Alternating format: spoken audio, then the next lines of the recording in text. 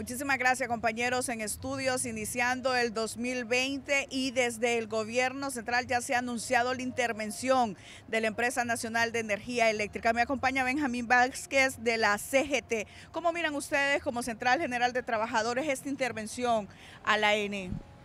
Primero, eh, nos sorprende más que todo la intervención de la ENE. La ENE es una empresa que ya se sabe que ha, ha venido con pérdidas desde hace tiempos y que más que todo habría que recuperarla.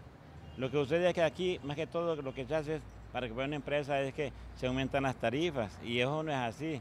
Yo creo que más bien es buscar un tipo de solución y que no hayan esos tipos de contratos leoninos. Eso ha reventado más que todo la ENE y también la gente que trabaja allí, mucha gente trabaja allí, que son paracallistas políticos y eso afecta lo que es la ENE.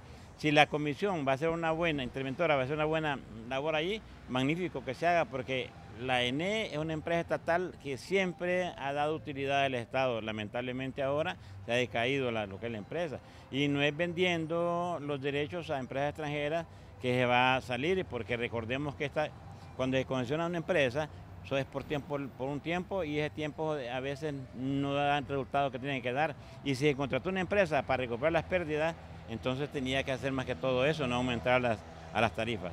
¿Va para el camino de la privatización, Nene? Es que la ENE ya los departamentos han estado privatizados, un montón de departamentos, facturación, la generación es la única que no está, no está privatizada, pero si se le compra la energía eléctrica a los térmicos, a los, eólicos, entonces de hecho que son departamentos que están privatizados ya desde mucho, mucho antes. Entonces eso no ha levantado lo que es la ENE. La siempre ha seguido con este tipo de problemas. Yo creo que la creo, cree eh, la comisión tiene que buscar la manera o forma cómo hacer un buen trabajo, pero que la comisión interventora que llegue ahí sea una, una, comisión que llegue a trabajar, como se dice, para sacar adelante lo que es la empresa. ¿Con esta interventora se podrían estar anunciando prácticamente despidos masivos? Es que siempre pasa eso en estas empresas.